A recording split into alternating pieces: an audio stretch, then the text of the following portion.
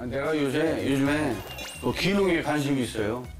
귀농? 예, 다시 이제 고향으로 돌아가서 뭔가 농사도 짓고 제가 귀농 이제 해- 햇빛 시니어로 들어가 햇빛 시니어 들어갔어요. 햇빛 시니어 들어가서 아, 그거 혼자만 하지 말고 같이 보면서 하자. 전철 씨 배우시려는 예, 어, 좋아요. 열정이 있네요. 요즘에는 이 VOD에 시니어에 관심 있는 그런 교양 프로가 있습니다. VOD 이제 단어 사용하시죠? 그러니까. 밑으로 내리고 또 내. 방향 버튼을 잘 써시, 잘 사용하시네요. 역시. 그것도 어, 있네. 슬기로운 농촌 생활. 그리고 제가 또 그런데 예. 김윤욱 씨가 나오네. 네. 너무 반갑네 저렇게 찾아주시니까. 어, 이 OK 버튼도 한 번만 누르면 안 돼요. 따닥 two touch를 해야 돼요. 네.